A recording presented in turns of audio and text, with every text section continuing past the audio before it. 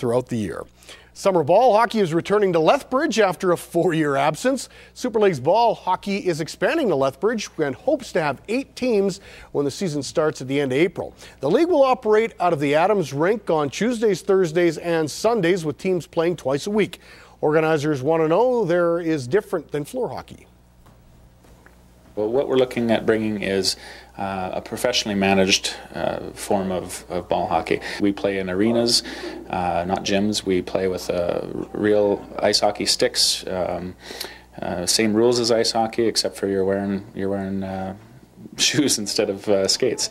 Um, we have officials. We're sanctioned by a national body and a provincial body for you know high high level of rules and enforcement.